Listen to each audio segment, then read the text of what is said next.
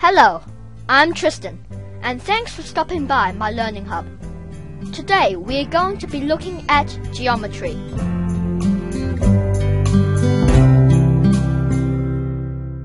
So now we're going to be looking at the Pythagoras theorem. So first of all, do you remember what the right a right angle triangle is? Well, it has one right angle. So I'll just draw a right angle triangle and say that this is the right angle. And it's 90 degrees. A right angle is 90 degrees. So let's say make this side A, this B, and this C. The side C has a special name, which is the hypotenuse. The hypotenuse of a triangle is the longest side of a right angle triangle, and it is also opposite to the right angle. So, the Pythagoras theorem states that a squared plus b squared is equal to c squared. And this also means that c is equal to the square root of a squared plus b squared. But this is the main form we'll be using for now.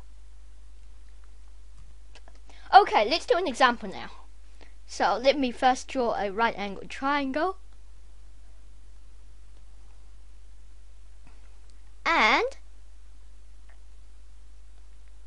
not a perfect right angled triangle, by the way, do, but um, let's say that this is 3 and this side is 4.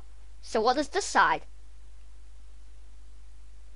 Well, it will be, since this is A and this is B, so that will mean 3 squared plus 4 squared is equal to C squared. So C is equal to the square root of 3 squared plus 4 squared, which means C equals 5. So this is the 3, 4, 5 triangle, which is the most basic right angle triangle. So let's do an, another example. Let me draw now a big right angle triangle.